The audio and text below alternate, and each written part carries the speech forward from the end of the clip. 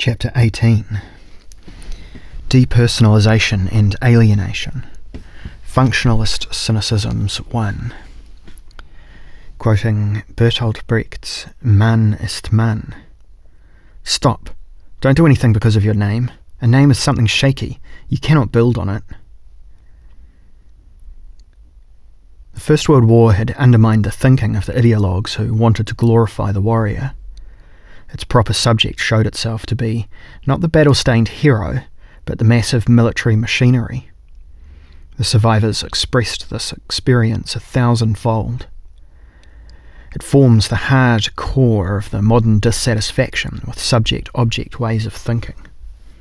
The individual subject now appears unmistakably as registered, drafted, uniformed, engaged, disposable. Subject in the original sense of the word as subjugated. War spits out the new subject of the times, the front, the people at arms. This becomes the meta subject of thinking marked by war. A little later, it will be called the community of the people. In it, the members of the nation will be forced together as an illusorily homogenous fighting unit. As a historical alternative to this community of the people unto death, parts of the workers' movement, which conjured up the mega subject working class, presented itself back then and came to think about its real interests in life. The time seemed to belong to the great collectivities. The individualist veil of bourgeois culture disintegrated. The war cons- had consumed the warriors physically as well as psychologically. The man sank into the mud trenches, was torn to pieces by shells, or mutilated. Here, a bourgeois dream of wholeness and personality comes to a horrible end. Those who recollect frequently mention castration by shells on the front. Uncountably many experience the defeat as a social, as a social, psychological emasculation. The war had already reduced heroism to a matter of factness and fighting. Now the defeat way made one more facticity out of it. In this way, I think, the oft cited Weimar matter of factness touches in the first place on a military psychological state of affairs. In the following years, this seeps into the cultural style. The warrior as the coolly functioning engineer. The attacks by storm became the heroic deeds of matter. Storm of steel. Finally, in the modern war of artillery, the last connection between heroism and survival slackens. The bond between the soldiers and the weapon systems now is matter of fact. The man in uniform has to learn to regard himself as the human factor in the war of machines and to act accordingly. The General Staff phrase human material increasingly stamps the modern form of self experience and way of treating oneself. Those who survive must have learned to regard themselves their bodies, their morality, their will, as things. The soldier's physical condition and moral attitudes provide only aspects of armament and battle equipment. In this point, war gave all modern moral philosophies a drastic graphic lesson. Morality is called the psychic factor of the war machine. Military matter of factness, so much of which will be inherited in an indirect way by Weimar culture, is, for its part, however, woven into an encompassing process for which Walter Rathenau, who was murdered in 1922, had found a striking formula the mechanization of the world. The book that develops this thought is still worth reading today, and not only because the author displays a style that is almost sensationally brilliant for a politician Rathenau's 1912 On the Critique of the Times, is the outstanding attempt of a bourgeois politician, who was also a successful entrepreneur and philosopher of respectable status, to analyse the essence of modern society for himself and his contemporaries. His starting point in describing the mechanisation of the world, however, is not the army, but the metropolis. Quoting Rathenau's Gesamtausgabe Volume 2, 1977, page 22. In their structure and mechanics, all larger cities of the white world are identical. Situated at the midpoint of a web of rails, they shoot their petrified street threads across the countryside. Visible and invisible networks of rolling traffic crisscross and undermine the vehicular ravines, and twice daily pump human bodies from the limbs to the heart. A second, third, fourth network distributes water, heat, and power. An electrical bundle of nerves carries the resonances of the spirit. Honeycomb cells, fitted out with silky fabrics, paper, timber, leather, tapestries, are ordered into rows. Outwardly supported by iron, stone, glass, cement, only in the old centres of the cities, residues of physiognomical peculiarities are still maintained as almost extinct showpieces.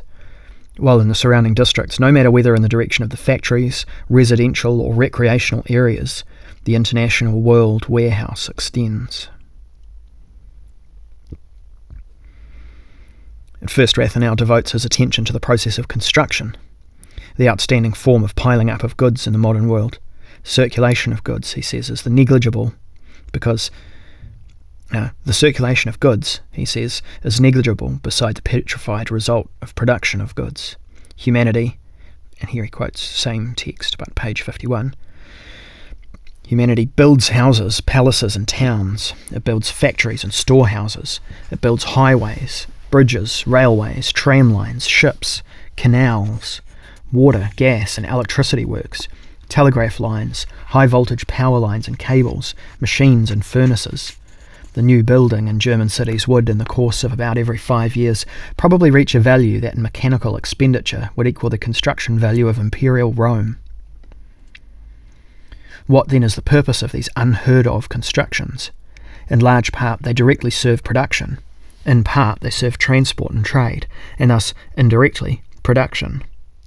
In part, they serve administration, domicile, and healthcare, and thus, predominantly, production. In part, they serve science, art, technology, education, recreation, and thus indirectly, once again, production. Mechanical production has long since overshot the elementary goals of food, clothing, self preservation, and the protection of life. In continually expanding circles of production and consumption, it creates new desires, a measureless hunger for commodities that is increasingly directed at artificialities. Mechanization thus incorporates even wishes themselves. Quote from page 50 in the irreality, lifelessness, and shadowiness of its products and fashions. End quote. Rathenau's conclusions hit unerringly the quintessence of sociological theories of alienation quote from page 52 mechanical production has elevated itself to an aim in itself. End quote. This is the mental scenario in which the situation of humanity is determined. Rathenau seeks it at the productive centre itself, in the world of labour. A longer quote here from pages 67 and 68. Labour is no longer an activity of life, no longer an accommodation of the body and the soul to the forces of nature, but a thoroughly alien activity for the purpose of life, an accommodation of the body and the soul to the mechanism. Labour is no longer solely a struggle with nature, it is a struggle with people. The struggle, however, is a struggle of private politics. The most risky business, practiced and nurtured less than 200 years ago by a handful of statesmen the art of divining others' interests and using them for one's own ends, to have an overview of global situations, to interpret the will of the times, to negotiate, to make alliances, to isolate, and to strike. This art is today not only indispensable for the man of finance alone, but, in an appropriate measure, is indispensable to every shopkeeper. The mechanized profession educates one to become a politician. Rathenau's anthropology of the labouring human being accordingly possesses two aspects. On the one hand, the labouring ego becomes an epiphenomena of the apparatus of production. On the other, they who egoistically pursue their own interest become ineluctably entangled in a kind of war, in diplomatic, polemical, and political business. Where an ego appears in the modern economic world, there it must appear as politician, strategist, deceiver, calculator, and diplomat. For every contemporary, political tactics go to the head. At the same time, this quote unquote risky business of tactics descends to the last shopkeeper. The matter has probably never been presented so disarmingly clearly in such a compact space, where the ego does not want to become only a cog in an alienated, oversized machine. It must stretch itself in the other direction and learn the art that earlier was the sole province of the great figures of politics. It must go through years of apprenticeship and political cynicism. It is scarcely any better for our intellectual and psychical powers. Quoting the same text, page 69. The intellect, still shaking from the excitements of the day, insists on staying in motion and on experiencing a new contest of impressions, with the proviso that these impressions should be more burning and acidic than those that have been gone through. Entertainments of a sensational kind arise, hasty, banal, pompous, fake, and poisoned. These joys border on despair. The devouring of kilometres by the automobile is a graphic image of the deformed way of viewing nature. But even in these insanities and overstimulations, there is something mechanical. The human, simultaneously supervisor of the machine and machine in the global mechanism, under growing tension and heating, has surrendered his or her quantum of energy to the flywheel of the world's activity.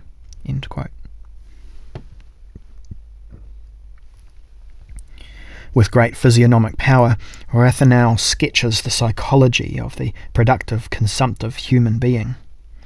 He discovers the puzzling banality of quote unquote abstract ambition that forms a unity of drives with the equally free floating hunger for commodities. Quoting page 74, abstract ambition is puzzling because all admiration is directed at the mask, and from the mask to its wearer there is no inner band of identity. Between greedy masks, a network woven of acts of purchase is spun in which surrogates, and surrogates of surrogates wander through the hands of consumers. In bourgeois households, it comes to an excess of objects in whose consumption existence seems to exhaust itself. Ten years later, Henry Ford answers this thought in the book about his success, My Life and Work, published in German in Le- Leipzig, 1923, in which he too confuses the view of the captain of the economy with that of the ethnologist, and like a pseudo naive observer of capitalism, remarks from page 313. The advances of the world to date were accompanied by a strong increase in the objects of daily use. In the backyard of an American suburban home, there are on average more appliances than in the entire territory of an African ruler. An American schoolboy is, in general, surrounded by more things than are an entire Eskimo community. The inventory of kitchen, dining room, bedroom, and cellar represents a list that would have astounded the most luxurious potentate of 500 years ago. The wasting away of traditional beliefs can only be countered reactively by the consumptive personality. It wants to cling to beliefs and value without being able to be the person for whom they still really hold. Quoting Rathenau's Gesamtausgabe, Volume 2, page 93, now he strives with cunning to regain what has been lost, and plants little shrines in his mechanized world, just as roof gardens are laid out on factory buildings. From the inventory of the times, here a cult of nature is searched out, there a superstition, a communal life, an artificial naivete, a false serenity, an ideal of power, an art of the future, a purified Christianity, a nostalgic preoccupation with the past, a stylization, half believing, half dissembled. Devotion is given for a while, until fashion and boredom kill the idol.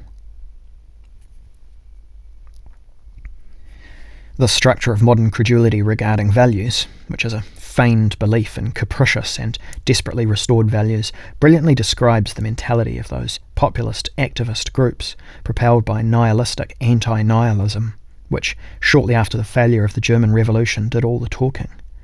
From one of these groups came Kern, Rathenau's murderer. The first encounter during the first the first encounter between the first murderer and his victim took place in October 1921 during a public lecture in Berlin.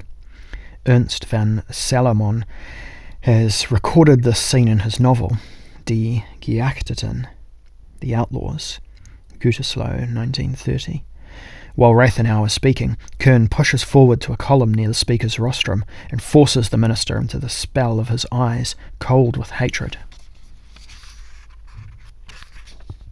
Quoting Die Geachteten, page 315. I saw in his dark eyes the metallic green shine. I saw the whiteness of his forehead. The minister, however, turned hesitatingly, looked at first fleetingly and then confusedly at that column, froze, sought laboriously, then gained composure and inattentively wiped from his forehead what had been projected onto him. But from now on he spoke to Kern alone, almost entreatingly. He directed his words to the man by the column and slowly became tired as the latter did not change his stance. As we pushed through the exit, Kern managed to get close to the minister. Rathenau looked at him questioningly, but Kern shoved hesitatingly past him and his face seemed eyeless. Something of the spirit of the whole epoch is contained in this confrontation. Contained in this confrontation. The gaze of the nihilist perpetrator of the deed does not want to see what his opponent had in terms of intellect, goodwill, and readiness to accept responsibility. Rathenau is supposed to feel that Kern does not want to listen. Hermann Rauschning, too, links up with insights such as those already presented by Rathenau in his book Masken und Metamorphosen des Nihilismus. That would be Masks and Metamorphoses of Nihilism, Vienna 1954, in which Hitler's erstwhile dialogue partner sketches outlines of a philosophical theory of fascism. The intellects that are worked up against modernity, Rauschning shows, are inclined during a crisis to cling precisely to that which nihilism has taken as its starting point, to the great social institutions, the state, the economy, and the armed forces. They, the great promisors of meaning, are the f- principal agents who, quoting page 121, broadcast unconscious nihilism behind a facade of apparent order and forced discipline. What those who are unstable call to for salvation is in fact the source of the evil. The institutions to which the conservative anti nihilists cling with gloomy sympathies are the real agents of nihilism. According to Rauschning, nihilism advances in two ways values and truths. They are subjected to a progressive unmasking. They become transparent as surrogates, and they are, as the functional lies of the great institutions, stripped of all higher validity. At the same time, however, the social institutions free themselves from human control as means and elevate themselves to ends in themselves, in which individual as well as collective human existence, has to subjugate itself. Quoting Ernst von Salomon's Der Fragebogen, the questionnaire, a contemporary writer who renounced for himself every organ of metaphysical speculation has expressed this process in a single excellent sentence quote, when humanity emancipated itself from God, it probably could not yet guess that one day logically the things will emancipate themselves from it. End quote. And also end quote. Quoting from the same text. Uh, sorry, quoting Rauschning's Masken, page 123. Human beings become the material of the economic process, the mere means of the state and quoting the same text from page 130. The institutions, the regulations, the apparatuses of community order, the organs of European culture are no longer aids for humanity. The organs of European culture are not longer aids for humanity in establishing meaning for itself. That, that might mean no longer aids for humanity. Uh, I don't want to second guess the copy text editor, but anyway. They are means and tools of nihilism. They do not hang in the air. Rather, the entirety of human existence floats without any supporting ground and clings to the means of existence that have become ends in themselves as the only things that can be held on to in the whirlwinds of insubstantiality. What is here put forward by philosophizing statement, statesmen is confirmed in the works of contemporary writers. Among them, Bertolt Brecht claims a special status, for like scarcely any other, he critically presented and experimentally thought through in his works the inversion of the bourgeois individualist understanding of the ego that had been decried as nihilism. He is the real virtuoso of the quote unquote cynical structure. In fact, he grasps it as a procedural possibility and as a poetic opportunity. Mm, pardon me. No matter how his share of subjective cynicism is estimated, he succeeded in making it into a means for representing reality. In his epoch, he became a master of the cynical tone of voice, and with almost every one of his plays, from Baal to Maßnahme, measure, he established his reputation as a poet who commanded a language that allowed the quote unquote times themselves to speak. With Brecht, too, the stance recurs that we have found at first in Dadaist irony, letting oneself be thrown and pushed around by the given state of affairs, which is no longer counterposed by any flimsy ideas or upright poses. More important than self composure is insight into what really confronts us. Quote unquote matter of factness functions as a form of going along, of being in the times. Don't fall behind. Don't let any resentments grow. Don't cherish any old values, but look to see what the state of affairs is now and what is to be done. We cannot live off the good old values. It is better to start with the bad new reality. Obviously, a new quality of irony and a non affirmative form of affirmation makes itself felt here. In this irony, it is not a subject that has quote unquote stayed clean that reveals itself, who, distanced, above the fronts, the melee, and the tumult, tries to save its integrity. It is rather the irony of a bashed ego who has got caught up in the clockwork, rather like Charlie Chaplin in modern times, who makes it, his hands, uh, who makes its hands as dirty as the circumstances are, and who, in the midst of the goings on, only takes care to observe alertly what it encounters. With Brecht, too, the pugnacious irony appropriate to modernity makes itself felt, cynical irony. It does not resist reality with imagined fancies, but exercises resistance in the form of unresisting accommodation. This irony's model piece is provided by Brecht in the famous interjection from the comedy A Man is a Man, the transformation of the packer, Galy Gay, in the military barracks of Kilkoa in 1925 this interjection from Erste Stücke, Volume 2, 1953, pages 229 to 230. Interjection. Here Bertolt Brecht maintains a man is a man, and that is something anyone can prove. But then, Herr Bertolt Brecht also proves that one can do as much as one likes with a person. Here this evening, a man will be reassembled like a car without losing anything in the process. The man will be approached humanely. He will be requested firmly, without vexation, to accommodate himself to the course of the world, and to let his private fish swim away, and no matter what he is remodelled into, in doing so no mistake has been made.